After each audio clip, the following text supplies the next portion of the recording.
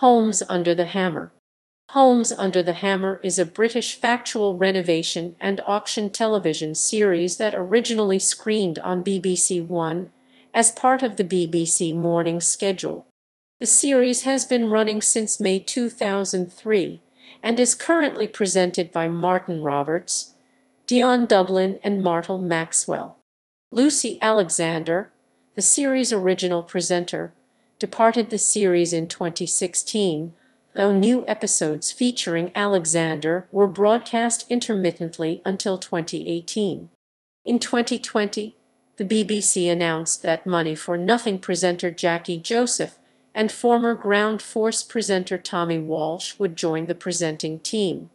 The series is the BBC most successful show in the 10am slot, regularly attaining a 30% market share for new episodes, which equates to approximately 1.5 million viewers per episode. Presenters Since the first series in 2003, Lucy Alexander and Martin Roberts presented the show, though guest presenters Jasmine Birtles and Mark Woodward also presented a handful of episodes during Series 3, due to the limited availability of the regular presenters. Retired footballer Dion Dublin joined Alexander and Roberts in 2015 at the beginning of the 19th series. On 1 July 2016, the BBC announced that Alexander had stepped down from her role on Homes Under the Hammer after 13 years, though Alexander later clarified that she would continue to appear on the series for at least another few years owing to the manner in which the series is filmed. On 30 March 2017, BBC Scotland's Martel Maxwell was revealed as the new host replacing Alexander during the 21st series of the show, and it was announced she would appear on screen from June. In 2020, the BBC announced that Money for Nothing presenter Jacqui Joseph and former Ground Force presenter Tommy Walsh would join the presenting team. They are currently filming for the upcoming series which will appear on screen in early 2021. Format Commercial and industrial property also feature on the program in addition to residential lots and land plots.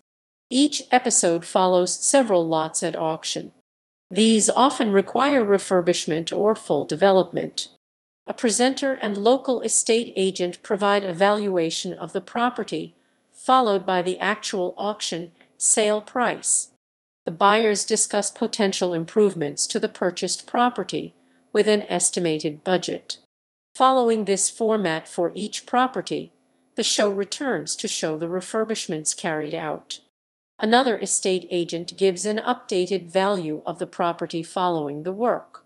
In 2019, the show also started returning to unfinished properties featured in past episodes to give updates on their progress. Music During the stages of viewing the property or whilst interviewing the buyer, music is normally played which is related to the property or person buying. London-based composers Michael Burdett and Richard Cottle created the theme tune, stings, and musical beds for Homes Under the Hammer. Transmissions